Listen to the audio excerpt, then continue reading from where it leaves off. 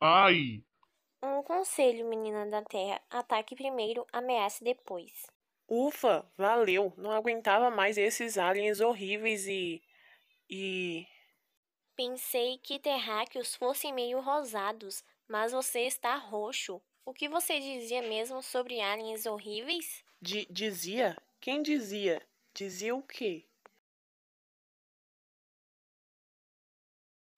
E você, Kraken, se liga, vai ser sorte se não rolar coisa muito pior com sua nave na corrida amanhã. Moleque intrometida, só ia torcer o pescoço deles, nada demais. Obrigada por nos ajudar, moça. Chegou bem na horinha. Tenho que pensar num bom jeito de agradecer e. E valeu por tudo, mas eu tinha a situação toda sob controle. Claro, percebi. Meu nome é Alandria, prazer. Então sou a equipe da Terra. Ouvi que foram os últimos a chegar e que vieram meio sem orientação. Meio muito. Essa é a nave de vocês? É um bom modelo, design sfariano, propulsão taquiônica, mas esse canhão de partículas parece fora de sincronização. Não me admira que tenha disparado por acidente. O quê? Então deram pra gente uma nave com defeito? Viu? Não foi culpa minha. Foi sim. Vem com essa. Se querem minha opinião, alguém sabotou a nave de vocês. Não posso acusar sem provas, mas conhecendo alguns dos pilotos, tenho minhas suspeitas. Ma mas quem ia fazer isso? Acabamos de chegar, não temos inimigos. Além disso, é só uma corrida. Só uma corrida? Espere aí, Lorde Coelhão não disse nada sobre o prêmio? Ele disse que era uma corrida para acabar com as guerras. Não é esse o prêmio? Aquele que venceu o grande prêmio, Velocidade da Luz, vai decidir o destino de todos os mundos. O destino de todos os mundos. Errou. O vencedor decide o destino de todos os mundos. Errou de novo. Quer dizer que se a gente perder para algum ET do mal, nem passou perto. A terra vai rodar e tudo por nossa causa. Não acerta uma. Nossa causa? Vem com essa agora. Tudo por sua causa, campeão. Eu sou só um cara abduzido. Vou dizer, você é tão bom dando apoio moral quanto acertando os alvos. Vai, cebola! Uhul! Arrasa! Gostei de ver, amor. Que legal você apoiar o cebola assim. Lógico, né, amiga? A terra em primeiro lugar. Eu deixo para acertar minhas contas com cebola quando o nosso planetinha estiver salvo. Ah, sim, claro. Se eu soubesse que o mundo estava em jogo, tinha pensado melhor antes de aceitar. Bom, vamos combinar. Deixar o Dudu decidir a parada ia ser zoado. É, ainda vou ter minha própria turma jovem, vocês vão ver. Menos falação, mais concentração. Se estão mesmo preocupados com seu planeta, treinem mais, se acostumem com a nave. Pega leve, tá? Tô fazendo o melhor que posso. Acontece que o seu melhor não basta, precisa ter humildade para aceitar isso. Vem cá, por que essa orelhuda tá ajudando a gente mesmo? Ela é nossa rival na corrida, horas. Ah, mo? Esta orelhuda está ajudando vocês porque os povos pacíficos deveriam se ajudar. E eu acho que vocês são de boa índole, apesar dessa sua boca grande. Parece que essas orelhas escutam longe. Mas já que não gosta da minha ajuda, que tal você tentar ser um pouco mais útil? Agora ela está vindo pela direita. Que tal ser mais útil? Ah, ainda vou mostrar para aquela ET orelhuda quem é. Você sabe que ela consegue te ouvir, né, amor? Tá vendo, Cascão? Aqui somos nós e aqui é a orelhuda. Para mim, ainda são pontinhos e bem difíceis de acertar. Ei, ela tá bem em cima da gente. Mas, hein? Cadê? Não tira o olho da pista, seu demente. Mal aí. É pra atirar agora? E agora? Ela está chegando perto. Mais perto. Já! Demorou. Uhul! Bem no alvo. Toma essa, orelha. Alandria, você tá bem? Hehehe, fique tranquilo. Vocês melhoraram muito, mas precisa mais do que isso para me derrubar e. Alandria! Mônica, como é que você não viu esse doido chegar? Mas ele, ele não aparece no radar. Será outro defeito ou. Ele não erra nenhum alvo. Nenhum. E tá vindo pra cima da gente. Vamos vazar daqui. Desculpa, gente. Eu vi a nave monstro, mas não achei que. Quer, quer dizer, aqui é uma área de treino, então pensei. Não foi culpa sua, mas vocês precisam se acostumar. Porque isso é o que ele chama de treino. Alandria, você tá bem? Que susto. Mas quem é aquele maluco? Ele é Xeno, um alfaziano, o piloto mais perigoso da galáxia. Vem de um povo muito ambicioso e agressivo. Sua nave é feita de matéria escura, por isso não aparece nos sensores. Momento de ciência. Matéria escura é uma substância misteriosa que forma 83% do universo, mas não pode ser detectada por meios normais. Ele é um dos grandes favoritos ao Grande Prêmio. Fala sério, o que vai ser do universo se cair nas mãos desse figura? É isso que me preocupa. Não adianta se preocupar, o que adianta é fazer alguma coisa. Então vamos achar outra pista e treinar mais, porque não tem outra coisa que a gente possa fazer. Até a corrida amanhã. Senhor Xeno, com licença, não quero atrapalhar, mas preciso devolver isto. Você deixou cair quando foi sabotar a nossa nave. Claro, eu não sabia de quem era, até que a Landria mostrou sua foto. Ainda bem que nós não precisamos de truques sujos para vencer. Boa sorte. E aí, o que ele disse? Nada, aposto que não queria admitir a culpa. Se pelo menos a gente pudesse provar. Nem rola. Pelo que o coelhão me falou, todo mundo pode usar qualquer método que quiser, até trapaça. Ele sempre pilota usando Sharp, mas desde ontem estava sem ela. Você foi esperta ao notar, Magali. Pilotos tomem suas posições para a largada. O grande prêmio terá início em 0.06 rotações planetárias. Os 10 minutos. É isso aí, chegou a hora. Muito bem, galera. Foi para este dia que jogamos tanto videogame.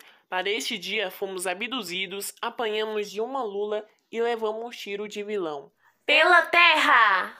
Pô, discurso épico de ficção científica sempre me pega de jeito.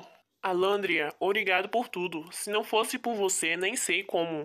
Ah, deixa de ser bobo. Somos amigos, não somos?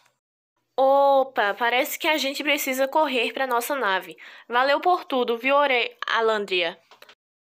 Muitos pilotos, apenas um vencedor. Vocês podem recorrer a todos os meios e armas não letais para incapacitar seus adversários, até que restam apenas dois. Então vencerá aquele que alcançar primeiro a chegada. É a lei. E o Grande Prêmio Velocidade da Luz tem início já!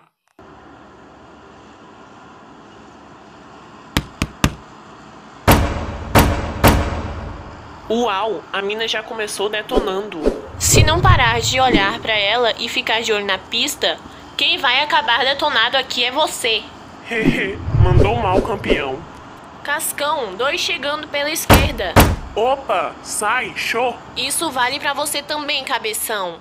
Foi mal, foi mal. Magali, tá me ouvindo? Por que não avisou a gente desse ataque? Desculpa, Cebola, eu fui ali rapidinho comprar raspadinha de cometa, mas eles só tinham com sabor metano, eca. Magali, você tinha que ficar ligada para orientar a gente. Eu sei, mas tá a maior treta, nave batendo em nave, raiozinho pra lá e pra cá. Pensei que ia ser uma corrida, não foguetório de festa junina. Visibilidade quase zero. Opa, eu falei quase zero, agora é zero mesmo. Eu vi, Magali. Ou melhor, não vi. É tipo uma cortina de fumaça. Ou uma nuvem de tinta. Aposto que é coisa daquele piloto polvo. Sussa, parece que o efeito não tem muito alcance. Já estamos saindo e. Ai, mamãe. Cebola do céu, o chino tá bem na sua nuca. Seu aviso chegou um tiquinho atrasado, Magali. Então faz alguma coisa, criatura. Ele tá em posição de atacar. Cascão, atira logo. Não dá, as armas não travam na nave dele. Deve ser a tal matéria escura. Essa não. Se não fizermos alguma coisa, ele vai embora. Vum. E ele passou reto, sem atacar. Mas por quê? Ai, e essa agora? O que foi esse tranco? Cebola, pilota direito, porque tá voando de costas. E eu sei lá, a nave não tem marcha ré. Hehe, vamos ver se os vertebrados continuam valentes depois de afundar. Diz aqui. De novo, isso está ficando chato. Hum, também acho. Hehehe, dois turbo-coelhos com um só laserang. Essa guria sabe mesmo estar no lugar certo na hora certa. Olha, parece que não, hein? Parece que a mina acabou em roubada. Essa não, a gente não pode deixar ela sozinha. Mas, Cebola, se a gente voltar para ajudar, vamos jogar fora tudo o que ela fez para nos salvar. Opa, será que eu ouvi direito? O que você fez com a verdadeira Mônica, sua vagem marciana? É isso aí, a Mônica que eu conheço não abandona um amigo com problemas. Você não acredita nisso de verdade. Ok, não. Ótimo, porque eu já tinha me decidido. Então por que perguntou? E aí, sentiu saudades? Confesso que no fundo do coração senti sim. Cuidado com a nave fatia de pizza vindo por trás. Olha a nave banana chegando. Apoio tático da Magali não podia ser diferente, né? Não fiquem entre a nave framboesa e a nave coxinha de frango que elas. Vocês vertebrados têm um palavreado exótico. Ah! O alien polvo Kraken. Bate em mim não, moço. Bah, controle essas suas glândulas suprarenais. Agora que fui eliminado da prova, só me resta torcer pelos amigos. Vai, Xeno, chute a retaguarda anatômica deles, amigão. Ah, você é amigo dele. Desculpe por não torcer também, mas seu amigão nos atacou ontem no nosso treino. Atacou? Aquilo foi uma salva de saudação. Se Xeno tivesse atacado, a esta altura você seria um farelo de positrons. Aliás, foi muita consideração da parte dele ser polido com subespécies caipiras feito vocês. Você está mentindo. Sabemos que ele é do mal. Sabemos do que ele é capaz para vencer. Ah, você acha que sabe mesmo? Então me responda. Por acaso esteve prestando atenção à corrida? Por acaso viu Xeno atirar em alguém uma única vez? N não, não vi. Vem cá, impressão minha ou todas as naves já eram? A galera rodou-se. Não vejo mais ninguém. Nem eu, mas no meu caso, não tô vendo nada mesmo. Cascão, você tá cego? Ai, como faz? Fiquem calmos. Isso foi um laser de raio-x. Passou pelo casco da nave e atingiu o rosto dele. Não é nada, vai passar logo. Não é nada. Vem com essa. O mais importante é que a corrida está quase no fim. Só restamos nós e Xeno. Quando um dos três cair, o ponto de chegada será revelado. Mônica, assuma o controle das armas. Cebola, vamos atacar Xeno juntos. Mas, Alandria, isso não parece certo. Ele teve a chance de nos derrubar e. Ele bobeou horas. Já esqueceu tudo o que ele fez? Tudo o que eu disse? Tudo o que ela disse. Mas é isso. Não, Alandria, desculpe, mas não vou atacar o cara assim. Tudo bem, tenho uma outra ideia. Cebola, tá me ouvindo? Presta atenção, Chino não é do mal. Alandria que é. Ela nos enganou desde o começo. Tudo o que a gente sabe do Xeno foi ela quem contou o papo sobre ele ser perigoso e tudo mais. Mas se Xeno é mesmo o melhor piloto, por que ele tentaria sabotar a nave dos novatos?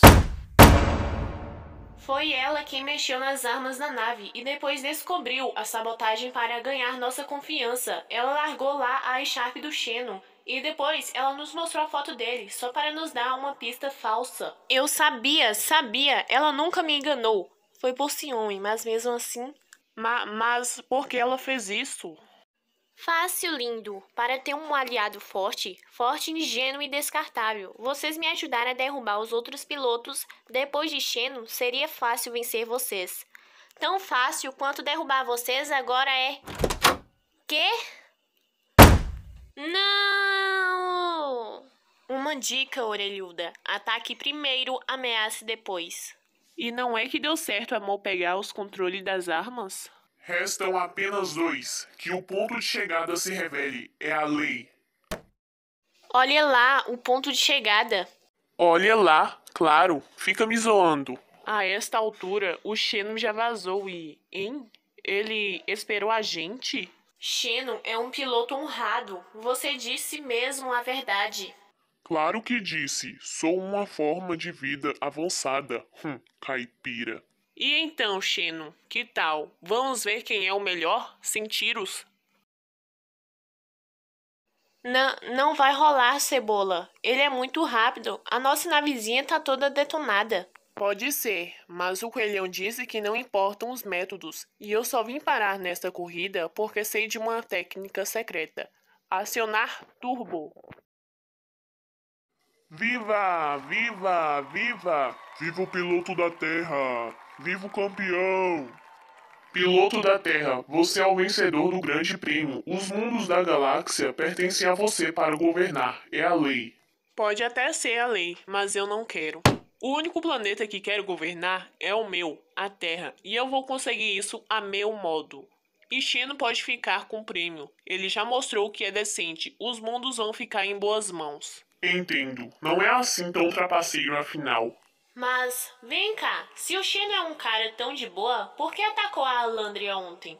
Porque ela roubou a Encharpe dele horas. Mesmo assim, ele só atirou de raspão. Sorte de vocês que Xeno vem de um povo pacífico. Porque se fosse eu. Tô ligado, hehe. Xeno, me perdoa por pensar mal de você. É o piloto mais honesto que eu conheci e. Anota aí, no nosso alfabeto é X mais Y mais Z mais V mais meia lua pra frente mais soco fraco. Ah, pensando bem. Maravilha! Minha vista já sarou. Será que agora a gente podia voltar para casa? Não, espera, falta uma coisa. Ah, agora sim, não queria ir embora sem ver a cara da orelhuda. Gostei muito de detonar a vilã. Acho que vou querer jogar mais desses seus games, C. Vou precisar de muita vida extra. Falou aí, Etesada. Foi divertido. Ou não. Hum. Os jovens terminam tudo tão depressa. Na próxima vez, farei um torneio de xadrez em uma história de três partes. Que chato, Chino. Ficou outra vez em segundo lugar. Sim, amigo Kraken. Não vou desistir de tentar. Mas por que não consigo ganhar nunca?